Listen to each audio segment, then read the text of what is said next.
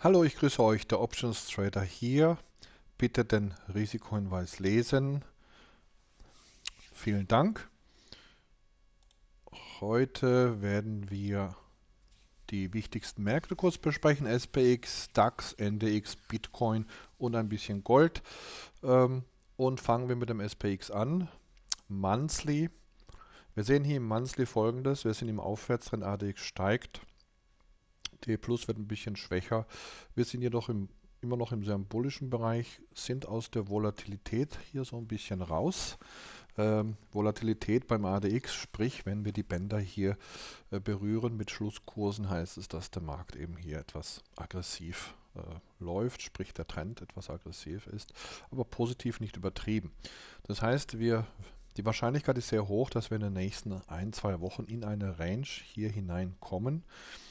Und jetzt schauen wir mal im Weekly, welche Range das sein kann und was wir hier erwarten können. Im Weekly haben wir einen fallenden ADX. Wir haben hier die 20er berührt. Markt ist sozusagen hier in Balance.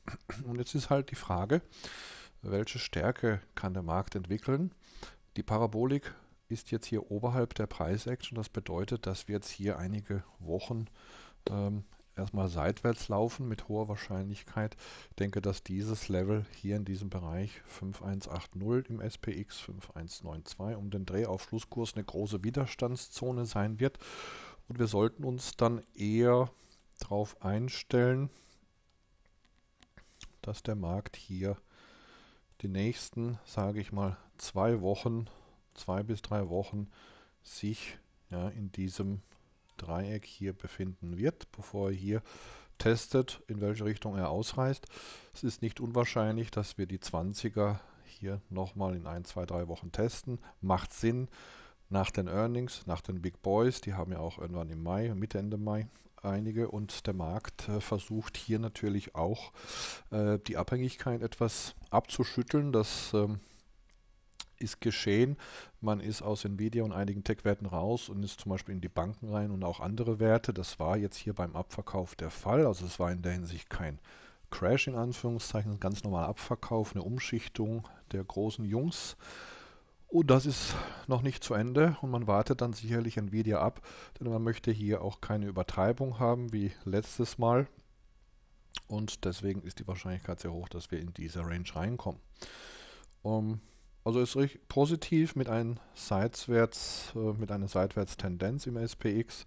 Im Daily, wie gesagt, dürfte die nächsten Tage hier diese Spanne 5180, vielleicht auch wieder drunter, dürfte eine Rolle spielen. Das sollte hier zumindest auch mindestens drei, vier Tage halten, dieses Level.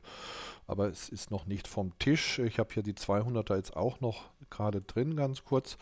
Bedenkt, äh, klar, wenn er schon so nah an einer längerfristigen Moving ist, ist die Frage, lässt er sich das nehmen, hier diese zu testen. Momentan, also hier hat das nicht getan. Das heißt, wir wären jetzt auf dem Level hier 5,9.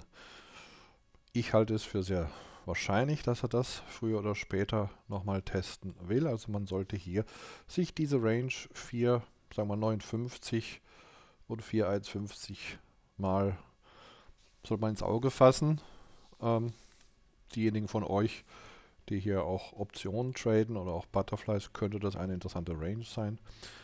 Der DAX ist ein bisschen freundlicher in der Form. Er hat zumindest im ADX jetzt einen beginnenden Trend. Ist auch nicht übertrieben auf einem hohen Niveau, konsolidiert er. Im Monthly erwarten wir halt auch so eine Range hier, 1500 Punkte sollte er die nächsten ein paar Wochen halten. Auch hier haben wir einen schwächeren Trend. Parabolik, wenn sie oberhalb der Preisaction ist, ne, dann ist das immer etwas Schwäche.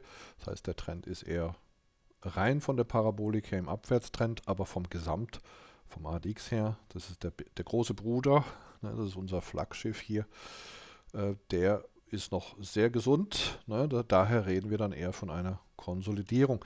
Ja, und ja, also dahingehend erwarten wir auch maximal hier so eine, da wo wir jetzt gerade sind, eine Widerstandszone. Und wir erwarten hier da nochmal leichte Rücksätze. Die 18 wird sicherlich auch hier nochmal eine Rolle spielen in dieser Range. Vielleicht noch ein bisschen tiefer, wenn wir Pech haben, nochmal die 20er. So richtig berührt wurde sie nicht. Ähm, tippe ich jetzt auch eher beim DAX. Äh, tippen heißt jetzt nicht, weil es irgendwo in den Sternen steht, sondern wir leiten das ja in der ADX-Schule hier, Bollinger Schule, leiten wir das von Erfahrungswerten, von Wiederholbarkeiten ab und da wir hier einen fallenden ADX haben und keinen Trend entwickeln, ist die Wahrscheinlichkeit eben sehr groß, dass wir diese Range hier abarbeiten. Wie schnell oder langsam, das können wir dann im DLE 4 Stunden dann herleiten. Aber das sollte man sich hier mal so sollte man sich mal ein bisschen hier drauf einstellen. Der NDX äh, ist auch im Monthly hier in einer Konsolidierung, hat aber jetzt ein Signal, was ein bisschen ungut ist. ähm, in der Kürze ganz kurz, also wir erwarten eigentlich hier einen Bereich, ja, 1000 Punkte tiefer, 16,6 müsste er sich, ich tippe mal so, die erste Maiwoche könnte ein bisschen wackelig sein. Klar, wir haben den Monatseffekt, das ist sicher, aber meine, also von, von der Konstellation her müsste dann das recht schnell Richtung Mitte Mai, müsste da nochmal ein bisschen Schwäche reinkommen von der Dynamik her im Nasdaq, also ein bisschen mehr als beim SPX. Und wir sehen, das beginnt auch schon, Para läuft schon ein paar Wochen. Äh, wir werden immer schwächer, D- bleibt hier stabil, also über der 20. Das ist ein Zeichen, dass der Markt hier weiter bärisch drückt. Ne? Und es reicht hier wiederum ein Schlusskurs im Weekly und wir werden hier die unteren Bänder, wie gesagt, entsprechend testen. Also auch hier ähm, haben wir in den nächsten Wochen im Mai sicherlich äh, Rückschlagspotenzial. Wichtig ist, dass diese, also dass dieser Bereich hält, 16, 5, also 16.600 etc. sollte Aufschlusskurs halten. Ja. Para sollte nicht gebrochen werden. Das wäre langfristig ein, eine längere Schiebezone. Also würden wir hier die Para brechen, erwarten wir sogar noch mehr Korrektur in der Form. Ne, so langsam schleicht sich der Markt ran. Er testet, wie gesagt, ja selbst äh, erstmal, ähm, was hält und darauf, ne, da springen dann die Algos an, wenn bestimmte Levels natürlich nicht halten, kommt das nächste Level. Deswegen kann man natürlich die Märkte und muss man auch nicht äh, ziemlich, also weit vorher sagen, wozu auch. Uns reichen ja ein, zwei Monate und das ist durchaus machbar. Bitcoin ist auch in einer Konsolidierungsphase. Vom Monthly aber immer noch sehr stark aufwärts, also praktisch steigender Aufwärtstrend. Aber die Movings sind schon ein bisschen hinterher und egal wie toll Bitcoin ist und Halving hin und her, äh, die Märkte äh, folgen den Mean, Reverse-to-Mean-Effekten, dynamischen Effekten extrem. Also niedrige Wohler sucht hohe Wohler, hohe Wohler sucht niedrige Wohler. Äh, das ist, äh, das sind die, die Playbooks of the Market. Und da wir hier schon sehr stark hier den, äh, ähm, ja, gestiegen sind, wenn wir konsolidieren, der Zeitpunkt ist jetzt da. Äh, bei Bitcoin sehe ich hier auch in den nächsten Wochen. Und er läuft ja dann eigentlich auch ein bisschen wie der S&P und dass wir hier auch dieses Dreieck hier sehr wahrscheinlich abbilden, vielleicht nochmal die Neuner antesten, so in diesem Bereich, aber ich vermute sehr stark, dass er sich hier, wie gesagt, das ist jetzt nicht zeitlich, das kann er schnell machen, dann wieder hoch, kann erstmal hoch und dann wieder runter.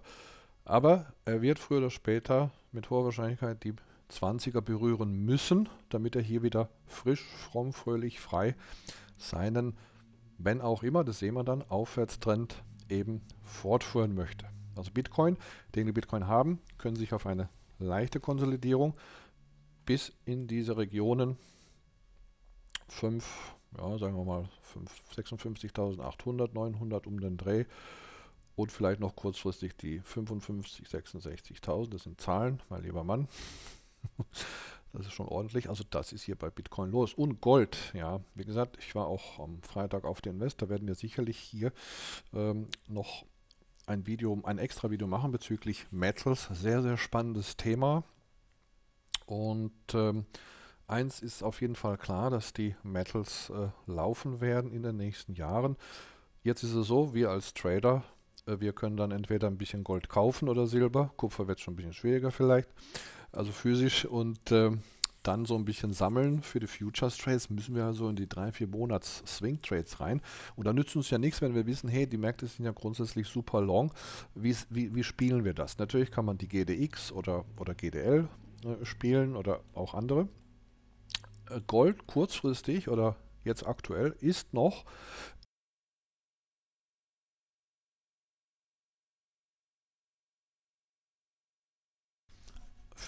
sprich, un, also so wie wir sie definieren, das heißt zwischen den Bändern, zwischen der zweiten und dritten, das heißt, der Markt ist noch hier sehr, sehr dynamisch und wir warten ab, es wird sicherlich eine Entscheidungswoche für Gold werden, dass wir hier den Schlusskurs, äh, das, also wo wir ihn testen, wenn wir hier unter zwei, äh, 2300 haben werden, dürfte es im Monthly ein bisschen düsterer werden. Schaffen wir dieses Level, könnten wir dann nochmal Anfang Mai, Mitte Mai nochmal einen kleinen Schub bekommen und dann noch ein bisschen sehen, was er schafft. Vom Weekly ist noch alles in Ordnung. Wir haben keinen fallenden ADX. Das heißt, der Markt hat hier auch genug Luft, hier nochmal loszulegen. Und wenn wir das Daily anschauen, das warten wir eigentlich nur drauf. Der erste Ausreißer wäre zum Beispiel, wenn wir die 20er auf Schlusskurs überspringen oder Richtung Paare laufen, dann könnte er sich hier nochmal die oberen Region vorknüpfen. Ich denke, das wird eine Widerstandszone werden, die Parabolik. Da kann man sich darauf einstellen, dass die 2.4 vielleicht nicht mehr so leicht geknackt wird oder sie wurde kurzfristig geknackt, aber das wird ein bisschen schwer für den Markt, aber das nochmal zu testen ist sicherlich drin in den nächsten Tagen. Grundsätzlich aber läutet schon so eine leichte Konsolidierung ein. Und ja, das war es mal. Ich hoffe, ihr hattet viel Spaß. Ähm, wie gesagt, habe auch hier, wenn jemand vertieft hier in die ADX-Welt, in die Preis-Action-Welt, Bollinger etc. einsteigen will, ähm, habe ich hier auch den, mein Webinar oder unser Webinar hier verlinkt. Und auch im Zebra-Trading nehmen wir die ADX-Schule hier zum Anlass und setzen eben auch entsprechende Money-Management-Techniken auf. Ja, viel Spaß und bis bald. Tschüss.